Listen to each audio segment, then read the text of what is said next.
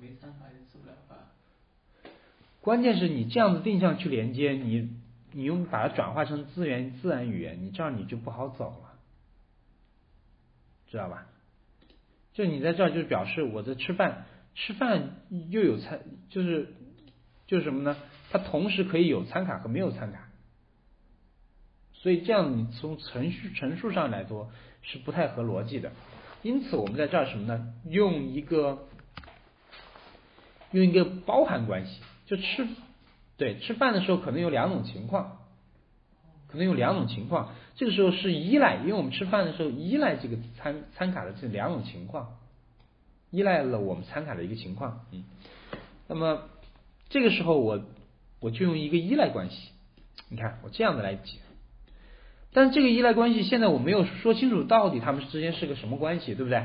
所以我就在 stereotype 里面去选，你看 stereotype 有调用、绑定、进入、建立，有很多关系，有很多关系，还有发送消息。那我给它起个关系叫什么？include 嘛，包含关系。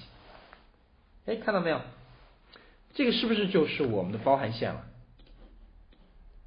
看到没有？所以你下面就知道我们下面的包含和扩展是不是就是由它来的？所以其实其实很简单了，对不对？很简单。好，那么那么在这个地方的话，在这个时候我们就可以这样来翻译了，就是吃饭的时候有餐卡的时候怎么样，没餐卡怎么怎么样，我们再继续就可以继续往下走，继续往下走。那么当然我们这里还有一个关系。这个关系叫什么呢？叫泛化，就是继承的关系。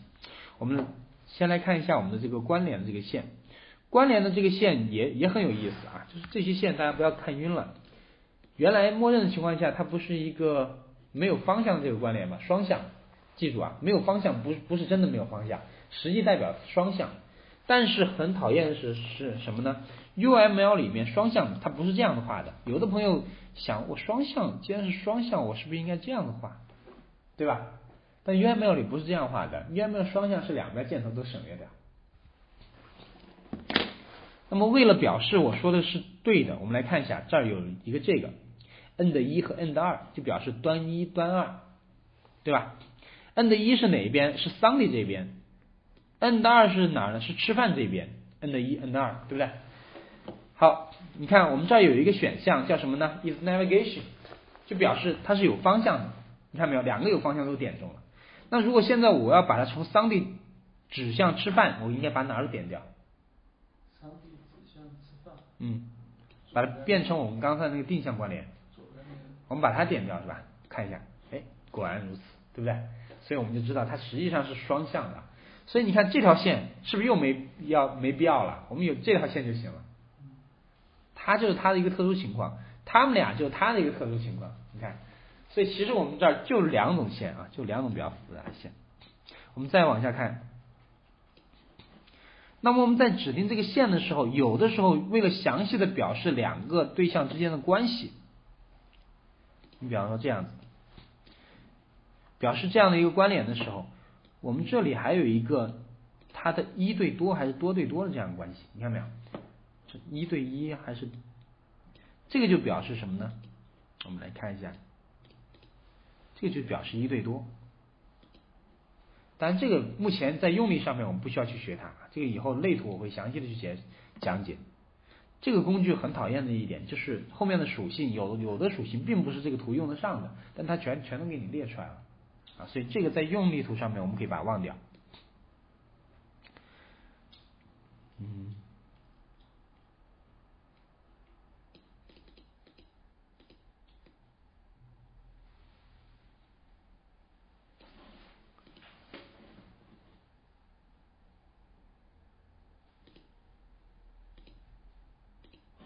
OK，啊，其他属性都是这儿暂时用不上的，我就不多说了。所以我们在这个地方，我们只需要记三条线，我们只需要记三条线。哪三条线呢？就是我们的 association，还有我们的 generalization，还有我们的依赖 dependency。这三条线大家记一下就行了啊。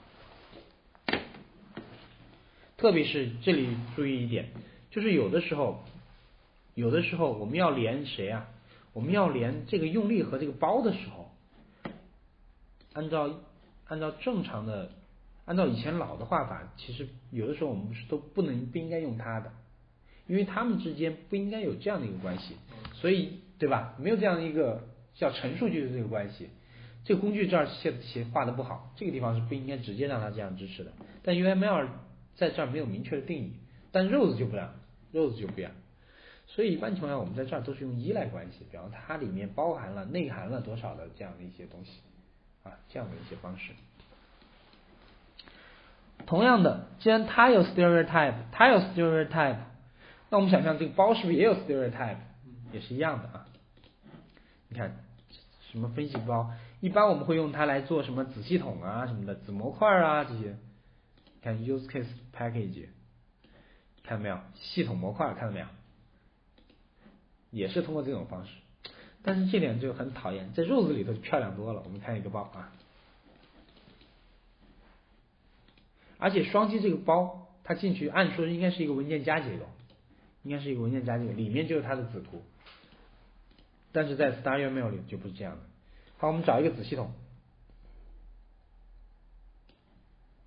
比方说这儿有个业务系统，我们看一下包变成什么样了，你看是不是很漂亮？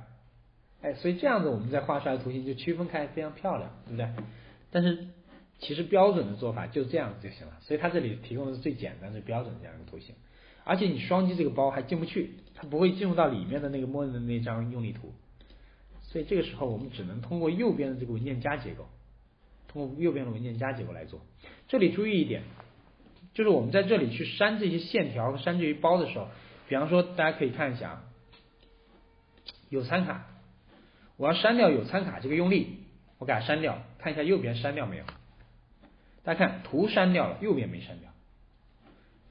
如果你真的想删掉它，在我们 StarUML 里面，你需要用到的是这个 Control 加 Delete。delete from model，这个右边就删掉了。所以很多时候我们在建的时候都是在右边把它组织好，然后把它们一个个拖上来。我们喜欢这样子来做，明白吧？包也是一样的，我们层层去组织我们这样的一个包的这个关系。这些文件夹都是我们的包啊。OK，这里稍微第一张图我花了比较多的时间跟大家介绍一下这些元素。和一些公用的属性，这些公用属性其他视图也会用得上啊，所以了解一下。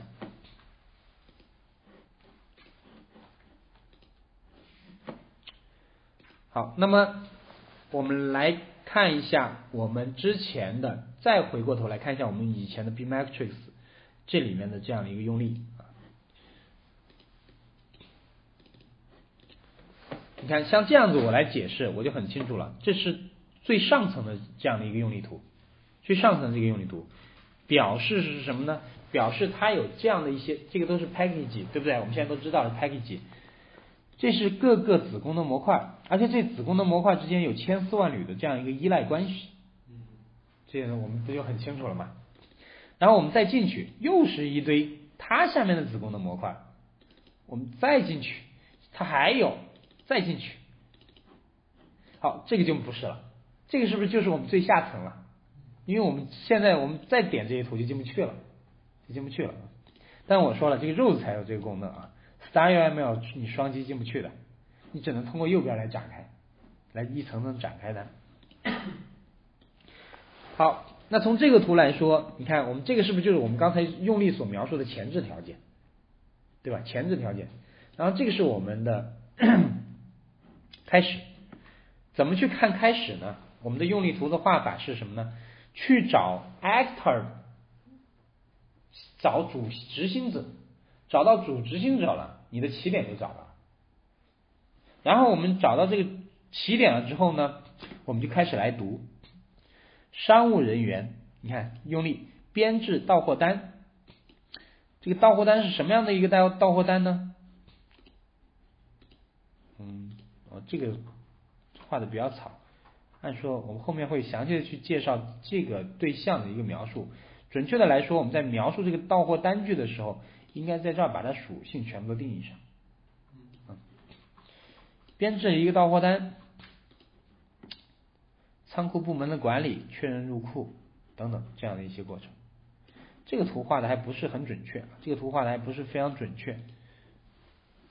虽然没有什么大的错误，但画的不准确，大家看一下就行了。待会儿我来给大家做一些例子的演练。好，我们我们继续来说。那么用力图的作用啊，用力图是用来描述我们的需求场景的，这这就是我对用力图的一个定义。这句话一定要记住，大家要耳熟能详的把它记下来。用力图是用来描述我们的一个需求场景，在与用户交流过程中，快速的建立我们的用户业务描述，并且跟用户去确认。设计好的用力图用来检验程序的实现情景。那么我们常常可能会问到的一些问题。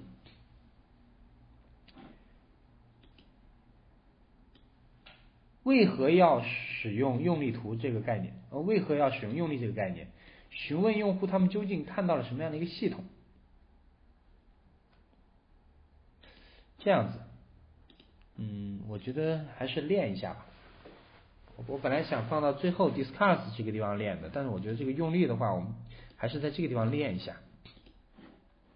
开始我们把这些工具都已经使用习惯了，就是这些对象我们也都清楚了。至少用力图的这些对象，一个、两个、三个、四个，实际上只有几个，一个、两个、三个，再加三条线，顶多再加一个边框，系统边界。那么我们现在来做一个演练，你给我一个场景，随便给我一个场景，我们要张口即来。就是登录嘛，然后验证嘛。好吗？就是就用登录验证的这样一个过程。那我们在画这个用力图怎么来画呢？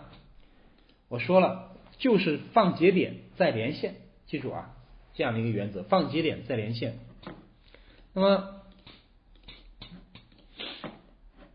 我新建一个用力图，login use case diagram。user，这是我们的一个对象，他要去登录。啊，这这个这样子描述不好，我重新画一下，为了表示它是一个子模块，我先去给它建一个 package 或者子系统或者模型。大家注意啊，你建立子系统或者建模型，实际上它们都是比较特殊的 package，是由我们这个工具自己定义了一个比较特殊的形式，就像我们刚才的 rose 里面看到的，对不对？你看我们这个地方是不是也是它特别定义的一个，对吧？这些都是 package。好，我给它建一个子系统，这个系统叫 user login，以后大家再做着。然后我再在这里面再去建一张用力图，然后再在这里面再画。这样我们就会非常清楚啊。哎，嗯，那么 user，下面我们就把自然语言转化成我们看图说话，输入登录信息，校验登录信息。主要是，然后呢？如果就是校验校验正确，这个工具用中文不知道是不是这个拼音输入法的问题，老是闪吧闪吧。校验错误，行，我以后尽量用英文吧。如果正确的话，那么就什么呢？提示提示登录成功。如果校验错误的话，返回登录页面，返回重新登录。这是不是就是这样的一个过程？可以理解吧？那么下面我们把节点都给它定义好了，我们怎么用一条线给它连起来呢？次那个怎么画？校验三次是吧？加个扩展就行了。扩展写个三。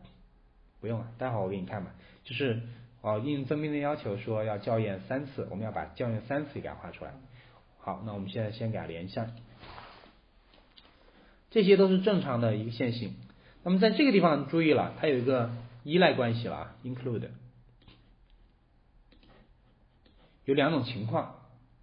那么如果校验正确，则提示成功；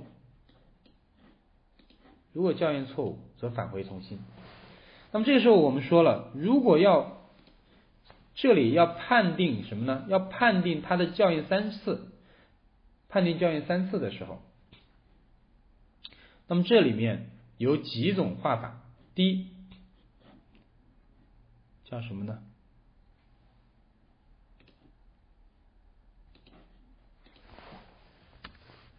最多校验三次，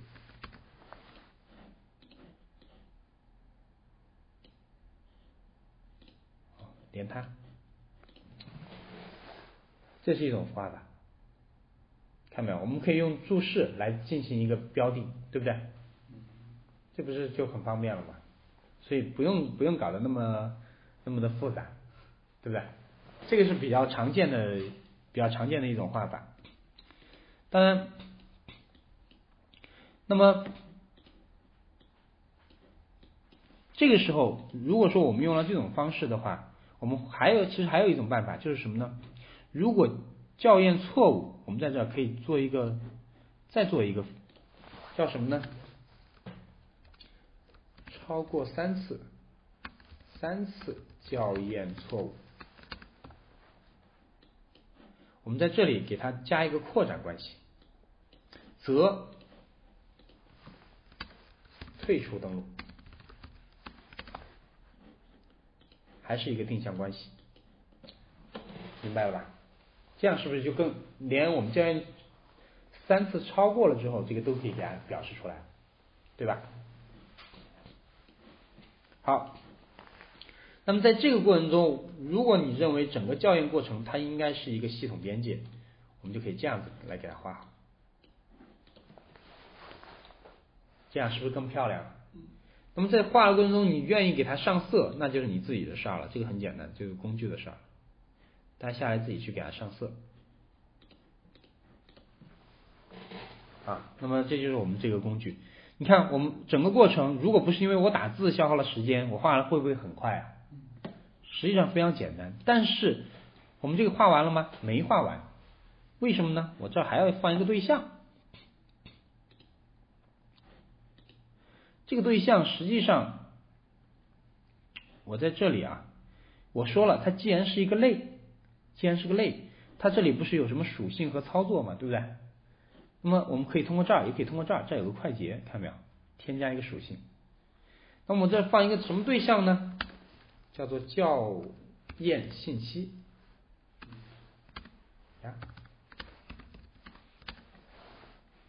有哪些信息呢？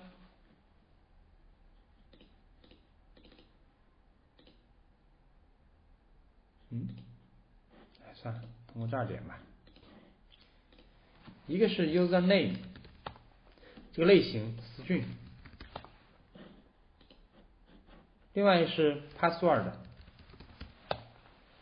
类型 string，或者你自定义的一个类都可以啊。后面我们会讲到类。但是这个时候它本身是一个 actor，对不对？所以我们要把这个给它改一下，stereotype 写成 document。这样，然后呢，我们给它连连一个线，咦，